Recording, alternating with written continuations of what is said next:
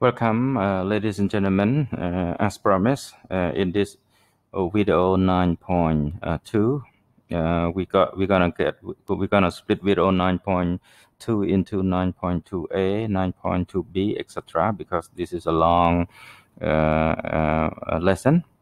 So we we continue to using t-tests uh, in order to compare two groups. So as you remember already, we in the previous lesson 9.1, we already covered uh, one sample uh, t-test. So we're done with that. Uh, we shall continue to uh, lesson 9.2a in the independent samples t-test. So uh, I want to notify uh, that this independent sample t-test is very versatile, it's very powerful is a, a, type of parametric test that is uh, popular when we compare uh, two groups uh, of participants on uh, a dependent variable. So I just want to give uh, the audience uh, a few examples. an independent sample t-test is appropriate when we want to compare, for example, fresh graduates from school A with uh, fresh graduates from School B. In this context, there are two groups that are independent from each other, that are, that are unrelated uh, to each other. So we want to compare the two groups on one dependent variable here. For example, we want to compare uh, the salary of the two groups in the first year. Uh, uh, we want to know whether uh, they don't earn you know different amount of salary or school A graduates generate more salary than school B and uh, vice versa. Uh, uh, an independent sample t-test is also appropriate for this uh, kind of uh, research topic.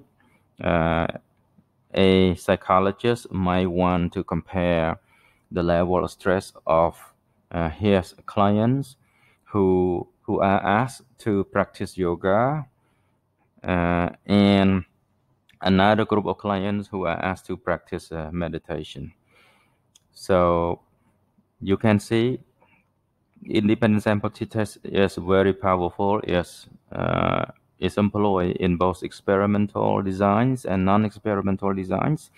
In this example, uh, example one, uh, this is non-experimental uh, research.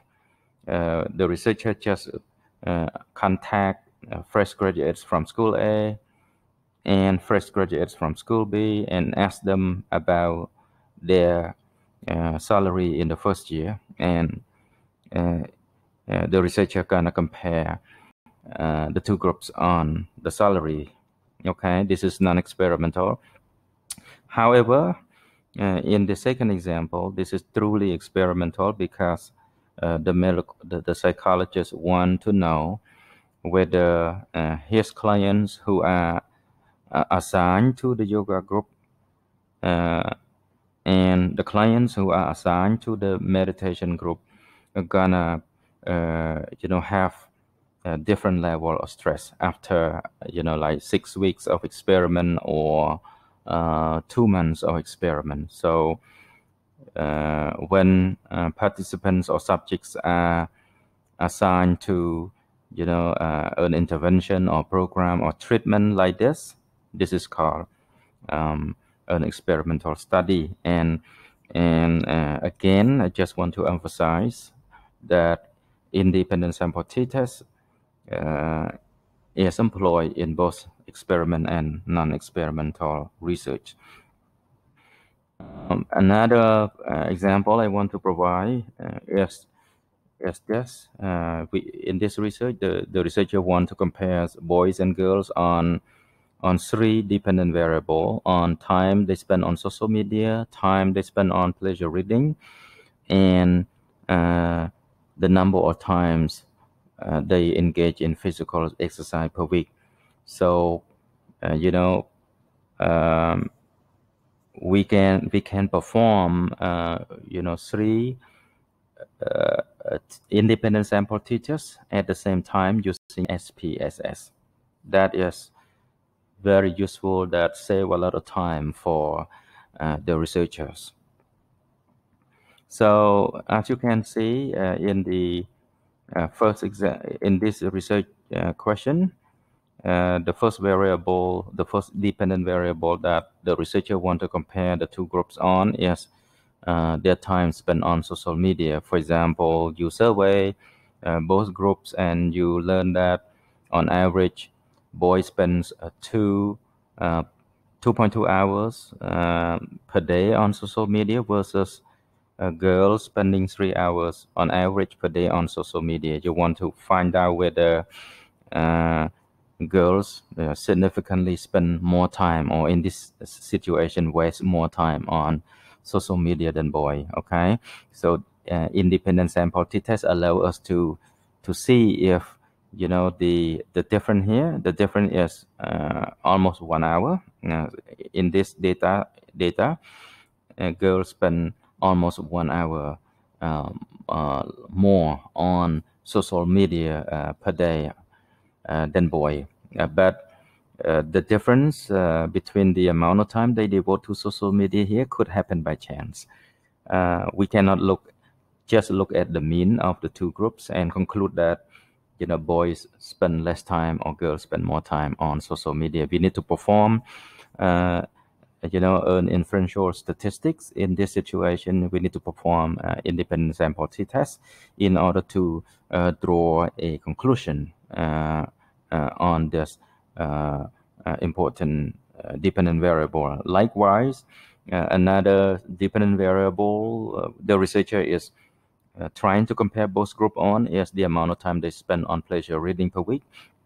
it seems that girls spend more time on pleasure reading than boy but wait okay wait we cannot just look at the means of the two group and draw a conclusion and make a conclusion that uh, boys are lazier or girls are more active, more industrious, more avid or convinced readers than boy. And the last dependent variable that the researcher uh, in this study tried to compare both groups on is the number of times they spend on physical exercise per week.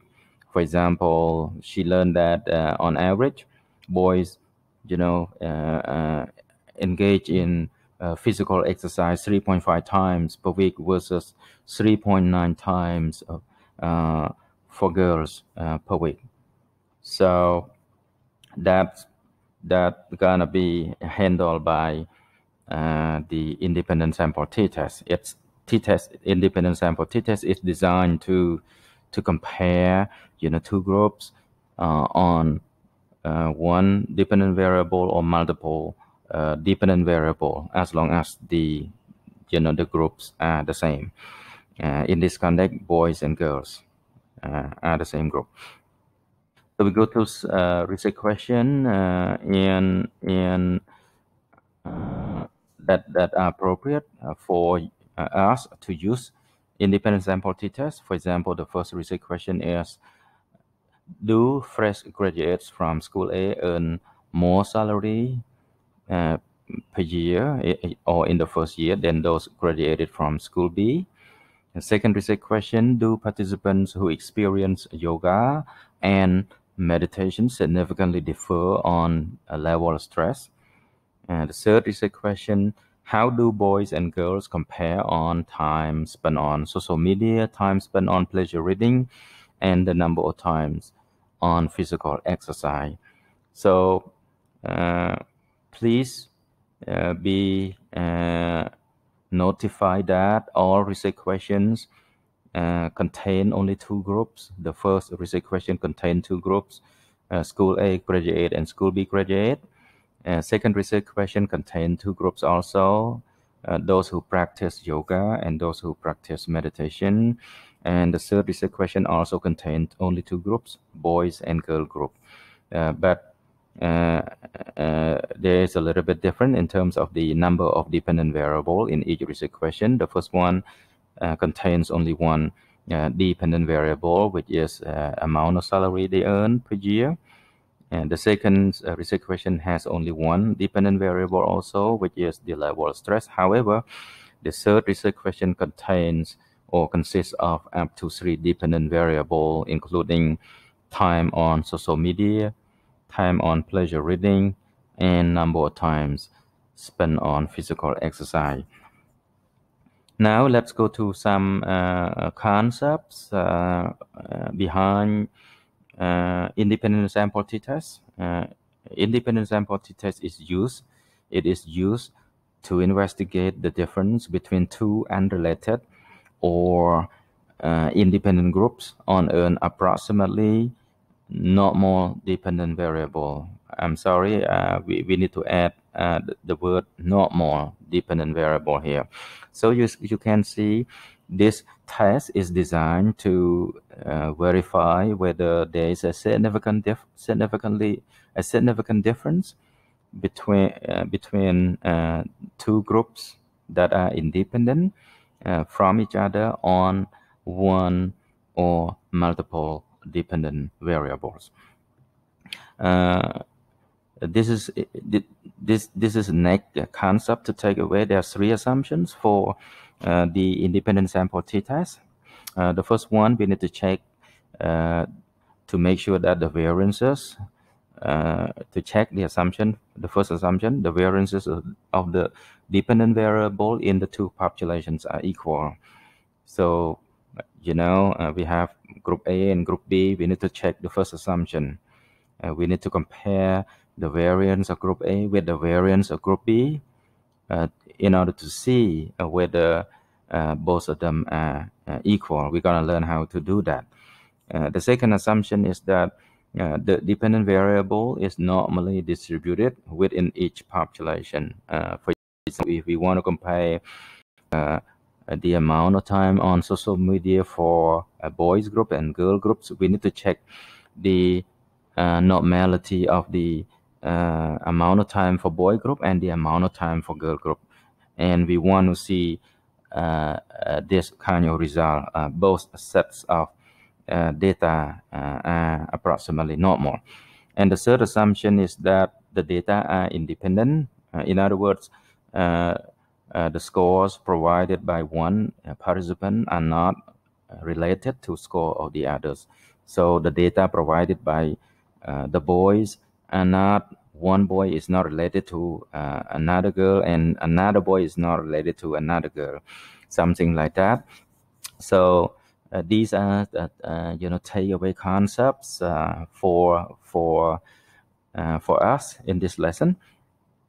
Um, it's very easy to uh, compute SPSS and uh, to compute uh, independent sample t-test in SPSS. There are some steps to go through. Step one is to go to uh, analyze. Step two is to go to compare means. Uh, step three is to go to independent samples uh, t-test. step four is to go to if we to move, you know, one dependent variable, or we can move multiple of them uh, to the test variable box. And step five is to move only one. there is only one. We cannot move two independent variables. We move uh, one independent variable, for example, gender, to the grouping variable box. And step six is to click on define groups.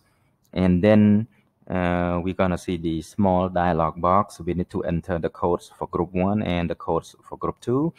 Uh, uh, normally we use uh, zero for uh, zero to code group one and one to code group two. So we can enter zero for males and one for uh, females in in the boxes. And then we click continue and we click OK. Uh, in order to demonstrate, I want to switch the, the screen so that I can demonstrate uh, with uh, real data here.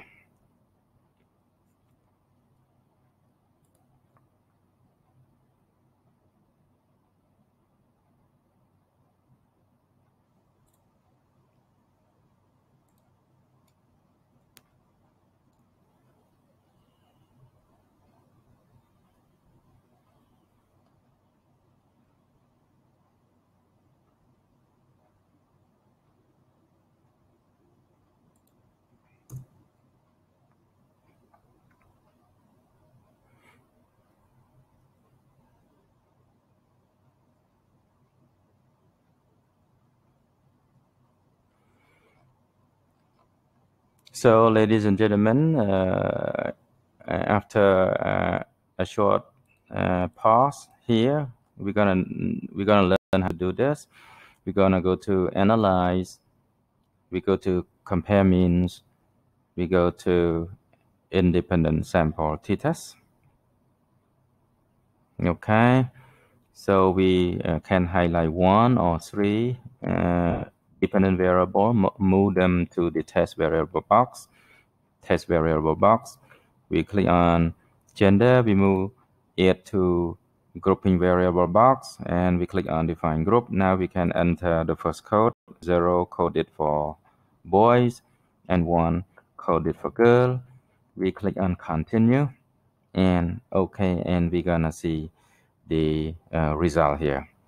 So this is the first part uh, uh, of the uh, lesson on independent sample t-test. Okay, and this is the end of video 9.2a. So we're gonna come back to the next video in order to uh, learn how to read all the numbers uh, generated by SPSS for the independent sample t-test. Bye.